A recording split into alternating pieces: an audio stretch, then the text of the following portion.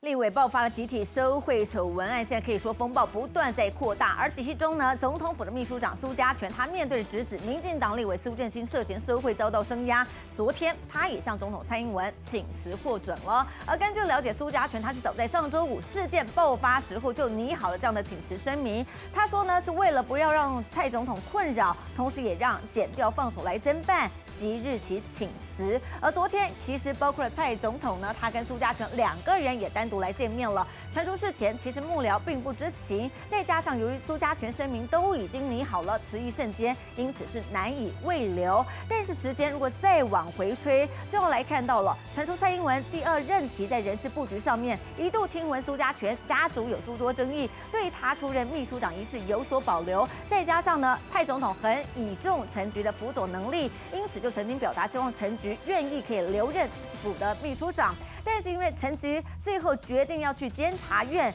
蔡英文他才因此作罢。五二零总统就职大典，苏家全就任总统府秘书长，想不到七十五天后就黯然请辞下台。传出总统蔡英文原本是属意由林夕耀担任府秘书长，苏家全担任党秘书长，但苏家全对党务兴趣不大，才让两人位置对调。甚至传出蔡总统原本希望陈菊留任副秘书长，但陈菊已经决定去监察院，所以作罢。苏秘书长他请辞，我也感到很惊讶，但是他一定有他自己的思考。我是觉得他在立法院院长任内有很多的建树。苏家全请辞后，副秘书长一职由副秘书长刘建新暂代。至于谁来接任比较好，包括前民进党主席卓龙泰、前民进党秘书长洪耀福，跟现在民进党秘书长林习耀都是可能人选。资深媒体人周玉蔻也在脸书上说，苏请辞了，也许请卓荣泰出任会有利于稳定大局。他还说，我举一万次手表示同意。总统府秘书长是总统的左右手，他的角色需要担当沟通党内外的汤沟。我个人认为，刘建新、卓荣泰。顾立雄等都是不错的人选。苏家人争议不断，苏正清这回涉贪，苏家全仕途路恐怕到此为止，而他也已请辞捍卫清白。